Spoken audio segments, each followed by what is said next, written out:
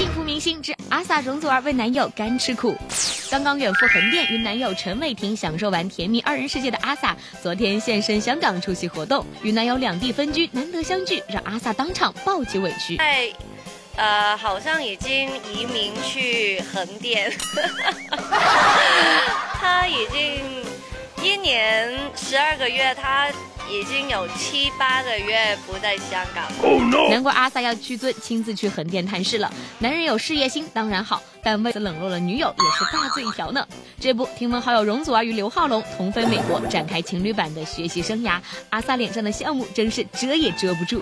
很羡慕啊，可以又可以学东西，又可以好好的生活，我也希望。不过，容祖儿虽然尽享甜蜜，却因传出李晨换机票，让前男友刘浩龙尴尬抬不起头。身为容祖儿的好闺蜜，阿 sa 自然要力排众议给予支持。我觉得没有什么问题。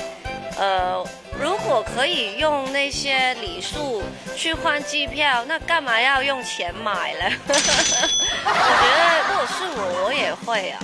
小编点评：看来恋爱中的人都是一样的。